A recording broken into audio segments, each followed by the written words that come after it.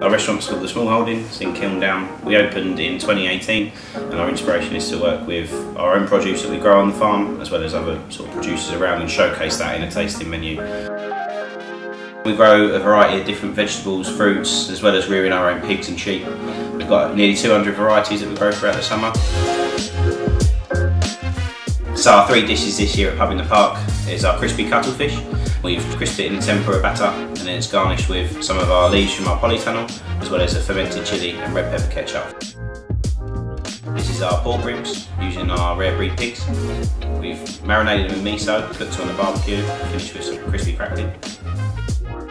And finally, our courgette fritter using courgettes from the farm Small Holding with a mint yoghurt.